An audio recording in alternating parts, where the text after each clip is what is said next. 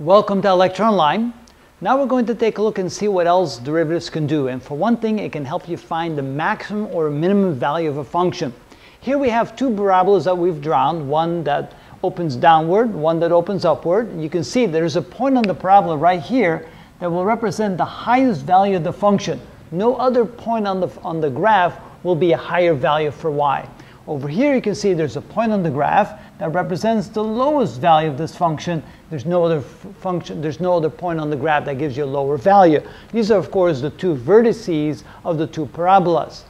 The derivative can help you find those points. And the way we can do that is with an example. There you have a function y equals minus 3x squared plus 6x minus 4. Remember, what is the slope at those two locations? Notice that the slope over here can be represented by a horizontal line because the tangent there will be horizontal line. The slope over here can be represented by a horizontal line. So therefore you know that at the points where the function reaches a maximum value or a minimum value, the slope must be equal to zero. And since the slope is equal to the derivative, that means the derivative there must equal zero. So let's go ahead and use this example. So we're going to find the derivative. y prime is equal to bring the exponent to the front, minus 3 times 2, x to the 2 minus 1 value, plus 1 times 6x to the 1 minus 1 value, plus of course 0 because the derivative of a constant is 0.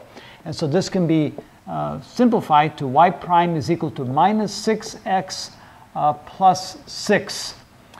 Now, we know we don't know what the function looks like. It's probably not going to be like either one of these two, but we do realize that this is now the derivative, and we're going to find the maximum or the minimum. So to find the max or min, we're going to set the derivative y prime equal to 0, because remember, we know that at the maximum or the minimum point, the derivative is 0. And so we're going to set the derivative equal to 0 so we can solve for the value for x that will tell me where the derivative is 0. So when we do that, we go 0 equals minus 6x plus 6, moving the 6 to the other side, or simply moving the 6x to the other side, we get 6x is equal to 6, or x is equal to 1.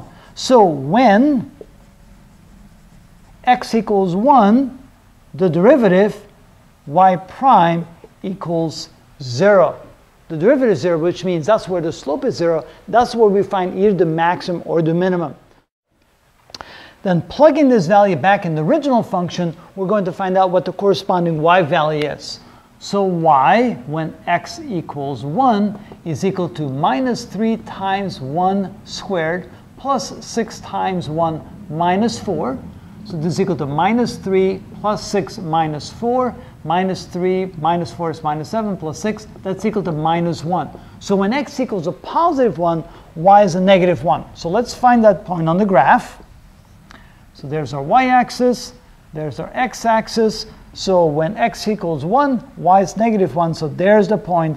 That's where the slope of the function is 0, which means that either the function will look like this, therefore it's a minimum point, or the function will look like this, and therefore it's a maximum point. Which of the two is it? Well, to find that, again, we use the property of the derivative. Notice when the function is like this, so that it becomes a minimum point, to the left, the function is decreasing, that means there's a negative slope.